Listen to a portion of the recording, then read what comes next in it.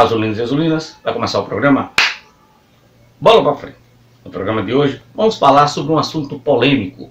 Querem acabar com as TVs dos clubes de futebol. Roda.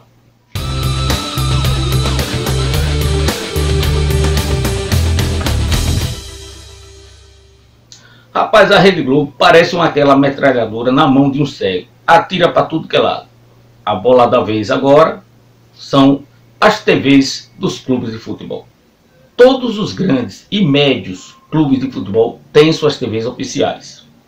Os times pequenos, alguns têm, outros não. Para que serve a TV oficial de um clube? Primeiro, serve para divulgar a marca. Em segundo lugar, serve também para informar aos seus torcedores informações que as grandes televisões não têm interesse ou pouco interesse em divulgar. O porquê das TVs oficiais está incomodando tanto a Rede Globo? Não sei se vocês sabem, mas a Rede Globo agora quer proibir todos os jogos onde ela tem o bando de transmissão, proibir as TVs dos clubes fazer aquelas reportagens dentro do vestiário, né, mostrando os jogadores se arrumando, a pré-eleção, proibir também que as TVs dos clubes fiquem no gramado transmitindo para depois repassar para seus torcedores. O porquê disso? Hoje em dia, os grandes médios clubes têm uma visualização astronômica.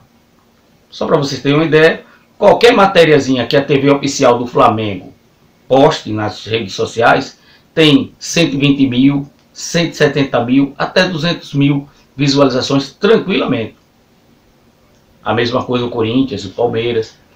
Então tudo isso está causando por parte da Rede Globo uma inveja muito grande. Aí vamos se colocar no nosso, na nossa realidade. O que é que isso implicaria?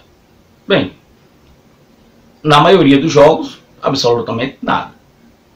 Mas quando tiver algum jogo, pelo menos Copa do Brasil, por exemplo, Confiança e Palmeiras, a Rede Globo certamente vai implicar da TV oficial do Confiança fazer suas matérias lá dentro do campo ou até mesmo dentro do vestiário. Eu acho que a Rede Globo ela está se equivocando, ela fica querendo procurar briga, brigando com todo mundo e ela só se queimando. Em vez dela procurar ser uma emissora simpática aos olhos dos torcedores, cada vez mais ela fica sendo uma TV antipática. As TVs dos clubes vão se acabar por causa disso? Não, apenas ela vai se adequar a essa nova realidade. É uma pena que a gente tenha como líder de audiência uma emissora que só pensa nela e quer que o mundo se acabe. Antes de encerrar, eu gostaria de avisar que a camisa e a camiseta do Poderoso Dragão vai estar à venda no Shopping do Dragão. Boa parte das vendas será destinada à divisão de base do Confiança. Esse foi o programa de hoje. Espero que vocês tenham gostado. Quem puder compartilhar o nosso muito obrigado. Quem puder dar aquele joinha, a gente fica muito feliz. Para vocês que ainda não se inscreveram no nosso canal, se inscrevam. Nos ajuda a tornar o Confiança um time cada vez mais forte. Um abraço a todos e até a próxima.